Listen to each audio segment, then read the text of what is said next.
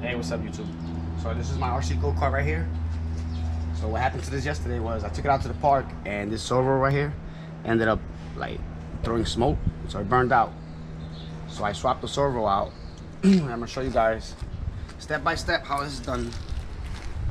right here, put the new servo on, put the screw on, but I'm gonna take it back apart and show you guys exactly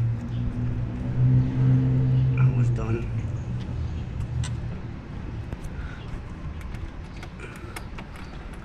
Alright. So this piece right here, this little bracket that holds the the servo, this is from a door hinge. from a door latch. See that? Like you know the, the those um deadbolt those um latches. So basically fits right over the servo. And then I got these two holes drilled for it. So you want to put it like that.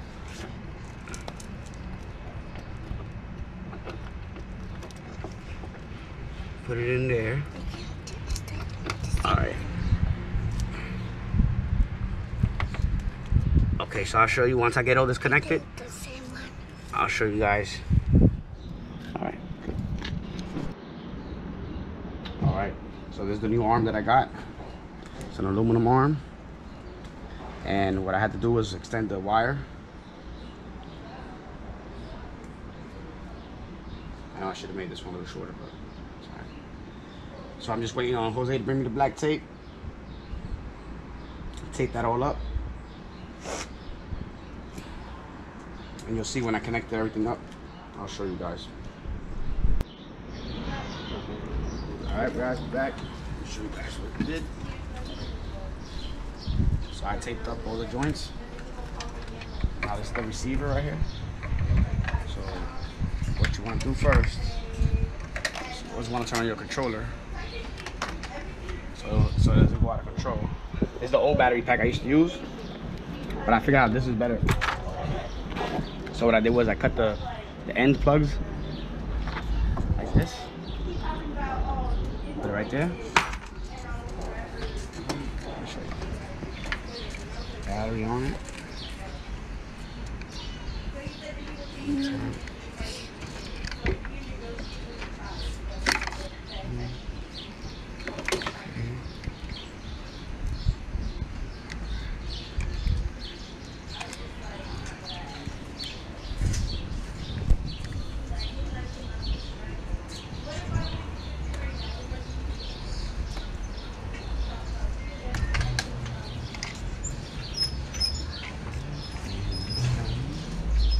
This can get confusing sometimes. So you just gotta figure it out, play with it. And Let's see which is which.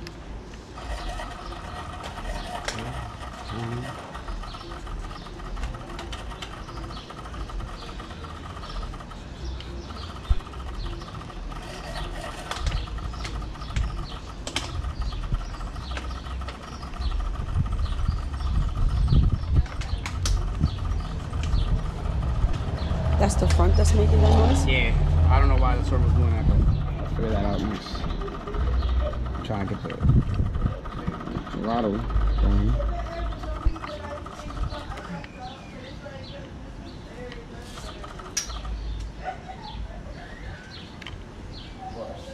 Moving on its own.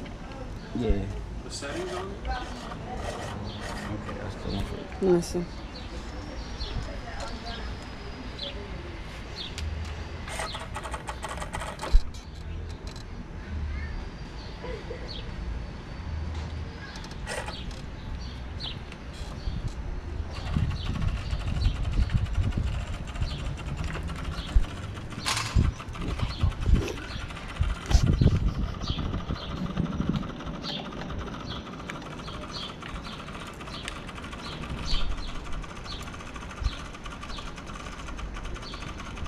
trying to figure out the throttle's the throttle's not kicking in yet.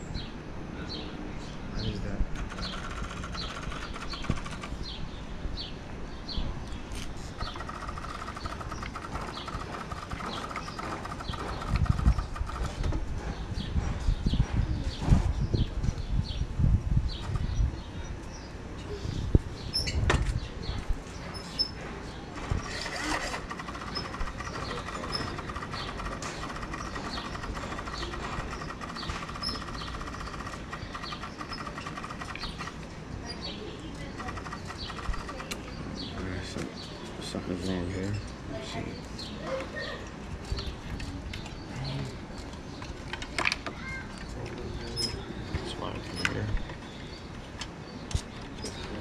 Just plug this in and we'll get right back to you.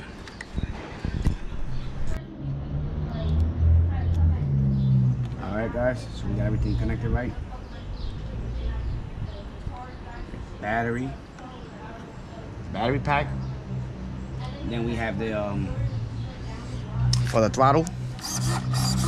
See that? When you hit the throttle here, pulls that lever, which pulls this. Now these are all parts from from the gas cars. See that? And it opens up the carburetor. Now look, this piece right here, you can take it off. You can take it off these gas carts. You know, you can take off any arms. You can make your own arms. You can take off the receivers, servos. Now got that, and then now the steering's not connected yet. The servo is, but come over here. Under here. Show you. What you do is, all right, look. See how that turns? So you always want to have this. Um, all right, leave the throttle trim on zero. Put the steering trim on zero. After that, then you connect it while it's on. Make sure your wheels are pretty much straight. Right there. Gotta put the little screw in here. This is an arm, a control arm from another control arm from over here, from from the other RC. It's a longer one. Now the only downfall on this one right here is these plastic pieces. They keep snapping, so I always gotta constantly replace that. So I'm gonna eventually upgrade and, and put some kind of aluminum ones or something.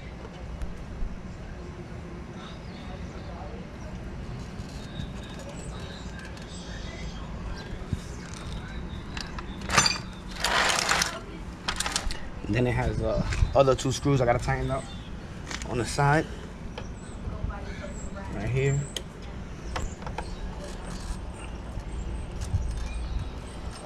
That clamps it down together right there.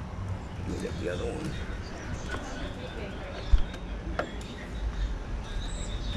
Okay.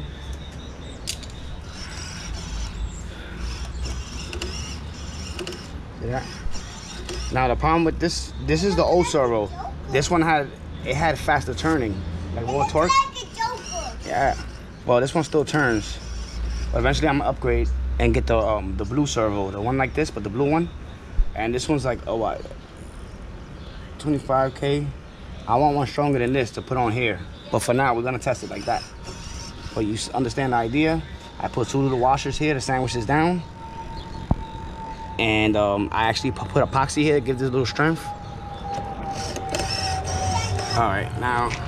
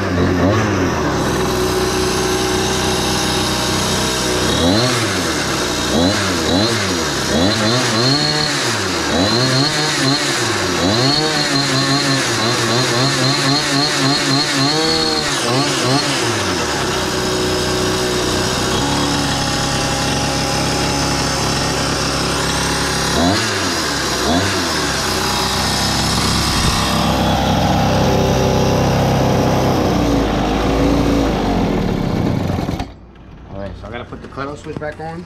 I had the cutoff switch connected to this servo and hit the button there, but it kept on jumping. Now you see, this servo is no good. It's not. It's not. Um. It kept on dumping. It's jumping right now. I don't know why. See what it's doing?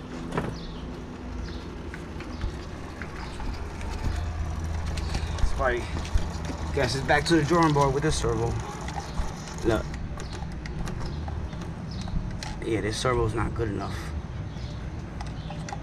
Look, it's throwing smoke. Look, look, it's throwing smoke. Oh wow. Mm. Comment down below, guys. It's about to blow. But comment down below, why is it doing that? That servo just burned out, as you can see. That's what happened to me yesterday at the park with this servo. So let me know what kind of servo should I get for this one. Which one can I buy? Hmm. Because when I used this one, it was pretty good. The whole idea, everything's good. It's just the servo keeps burning out on me. So now you guys see what I'm going through. All right. So let me unplug the battery. Unplug everything.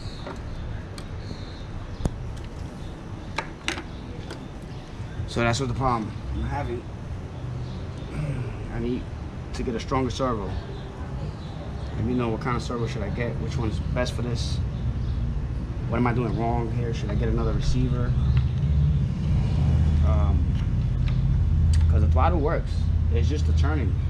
It was working fine with this one, but when um, the plastic arm broke, I ordered the aluminum arm, and the only thing different I did was put this battery because this one was costing me too much money. I kept on ordering batteries, and it's not strong enough.